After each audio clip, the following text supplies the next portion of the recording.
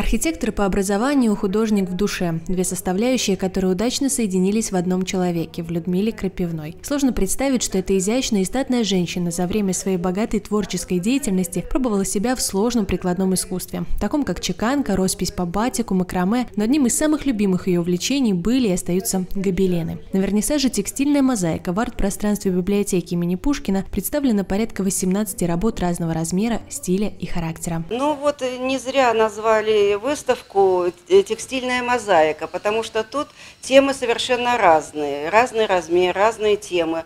Ну а поскольку я бывший архитектор, меня, я тяготею, э, в общем-то, к архитектуре, поэтому тут э, много работ, связанных с архитектурой. Это и старое Берестия по старинной гравюре, и Гродненский старый замок, и просто архитектура старинной средневековья – вот. Ну и, естественно, цветы мне нравятся, ирисы мои любимые, потому что довольно много тут ирисов. Вот. Ну, ну и как архитектор я люблю четкую линию, поэтому я решила еще и сверху добавлять вышивку. Присутствуя на выставке, невозможно просто пробежаться глазами по гобеленам. Каждый цепляет зрителя. Будь то натюрморт с цветами в теплых оттенках или старая бересте с множеством деталей. Восхищает и трудоемкость работ. Хотя, как делится с нами мастер, большая часть из них была создана за последние пять лет. И этот внутренний огонек и непреодолимое желание творить, которое сохраняется в Людмиле Крапивной до сих пор, восхищает. Не только ценителей искусства, но и ее близких друзей. К слову, две подруги преодолели тысячи тысячи километров, приехав из Санкт-Петербурга, чтобы поздравить мастера и подругу. С Людочкой, с Людмилой Петровной мы знакомы с пятого класса, то есть когда нам было по 12 лет. То есть это почти уже 60 лет.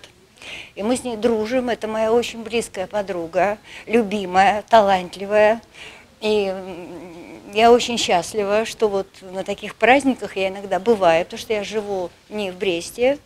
А, ну, когда я приезжаю, очень здорово, что попадаю вот на такие праздники. В городе Бресте я проживала, как мы все дети военных, где-то с трех лет, наверное, до 19, а потом в Санкт-Петербург. Санкт-Петербург 50 лет. С Людмилочкой, которая Петровна сейчас, мы учились с первого класса по 10. И у нас замечательный класс, который до сих пор встречается. Что хочу сказать о ней? Она уже с детства проявляла себя. Рады за нее, рады, что вот она сейчас, как мы уже, извините, в таком хорошем возрасте, она все еще в творчестве.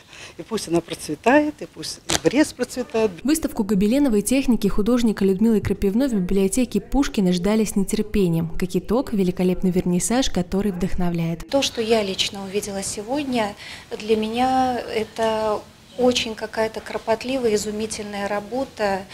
Э, когда под руками мастера рождаются вот какие-то такие шедевральные вещи, мы, наверное, люди одной крови. Вот буквально вчера я купила вот э, такую брошь, и сегодня я увидела этот цветок буквально практически в таком же исполнении на одной из работ Людмилы Петровны.